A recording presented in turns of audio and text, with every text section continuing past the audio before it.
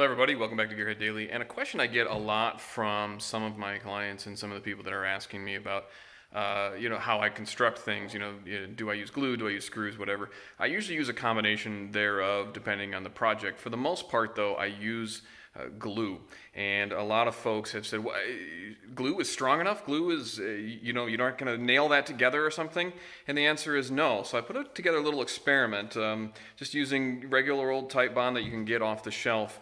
And I want to show you, uh, just as an experiment, how strong glue is. All right, so let's go.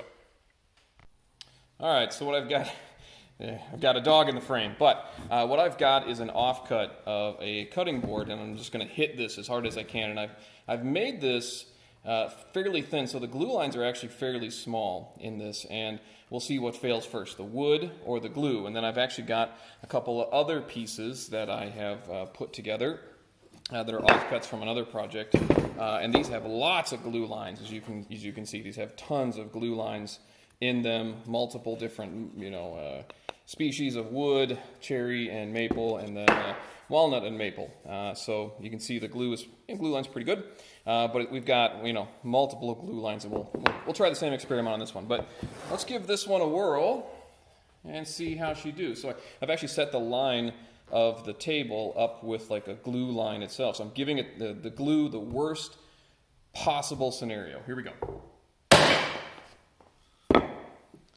All right. So what failed first? We had a small glue line failure here, but really the wood broke first and not the glue line. So you can see it actually started, it broke right down there. So if that's not proof enough that the, the glue itself is stronger than the actual wood, I'm not sure what is. But uh, let's give these two a try. These look a little hardier. All right, so hopefully you can tell. I'm actually giving the glue the worst case scenario where the, uh, the grain and also uh, the glue lines are running parallel to, you know, kind of where I'm hitting. It's, it's, uh, it's right in line with the table. So I'm giving it the worst case scenario. So uh, we'll, we'll, we'll, see. We'll see if this one's any better. I, I suspect this one's going to be even stronger just because of the piece. Don't worry. Uh, no trees were actually harmed. They were already dead when I got there, I swear. So here we go.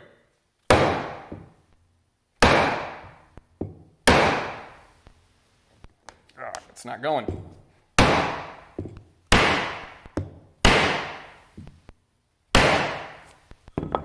Doesn't even want to break. so, take a look at some of the evidence. Nothing. Not a crack. Not, a, not even a stress. Not even a stress joint. Uh, I do have a I do have a press though, so let's go check that out.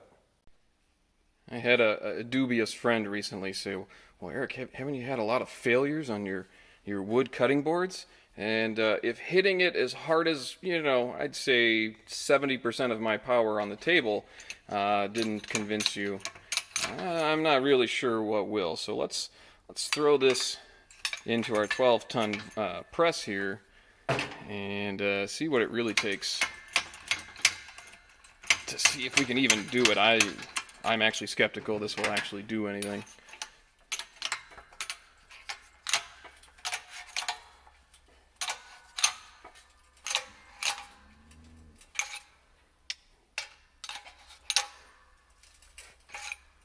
Just digging into the wood. It's not actually doing anything.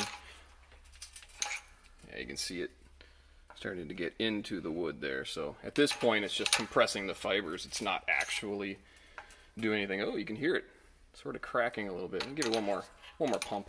Little, little, little pump. A little, give her a little, little pump. Yeah, she's just sinking right in there. So that ain't gonna do it. And I know what you're saying, Eric.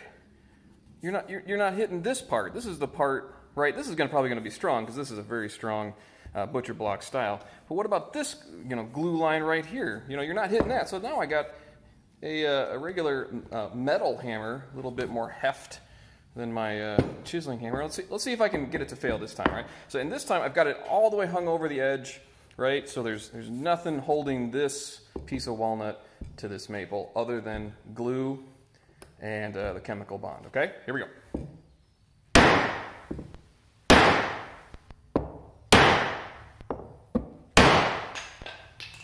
I'm losing pieces here.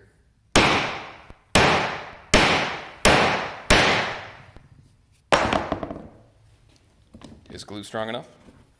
I think so. I wasn't nice to her. I hit her pretty good there. You saw that. Any cracks showing? I can't even get my can't even get my fingernail in there. So, is glue stronger than than any mechanical bond? Yes. Is it actually stronger than the actual wood you're using? Yes, it is. End of story.